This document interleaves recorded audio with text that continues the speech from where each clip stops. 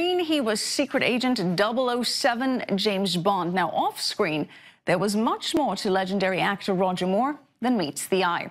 Moore passed away Tuesday at the age of 89. Our culture correspondent Maya Margit has more in his life and his special bond with Israel. Fondly remembered as one of the world's favorite secret agents. After a short battle with cancer, the legendary actor Roger Moore has died. My name is Bond.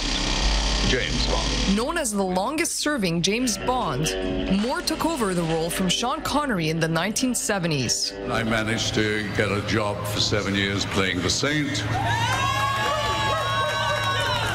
I got to work with Tony Curtis in The Persuaders. And then Harry Saltzman and Cubby Broccoli decided that I would replace Sean Connery as Bond. Though he'll always be remembered as Bond, Moore considered his off-screen work to be his biggest achievement. For decades, he'd been a UNICEF Goodwill ambassador, traveling across the globe to promote humanitarian projects and raising tens of millions of dollars in the process. In 2003, Queen Elizabeth II knighted him for his services to charity.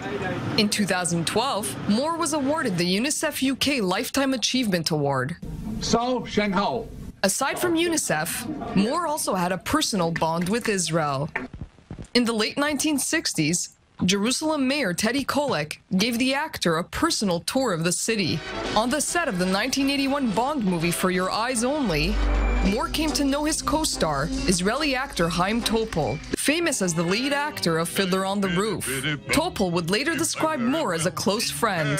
Moore, for his part, wrote that he had been captivated by Topol's performance in Fiddler on the Roof. Then, in 2009, the 007 star visited the southern Israeli city of Eilat as a special guest of the Chamber Music Festival. Not there's anything wrong with saying a martini shaken stirred. Cheers.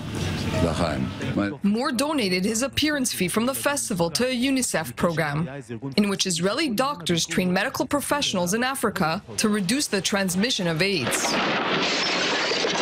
Roger Moore, more than an actor, suave, charming, and a legend, even among Bonds. Couldn't agree with her more. Our culture correspondent, Maya Margit, nobody does it better than Roger Moore. Well, a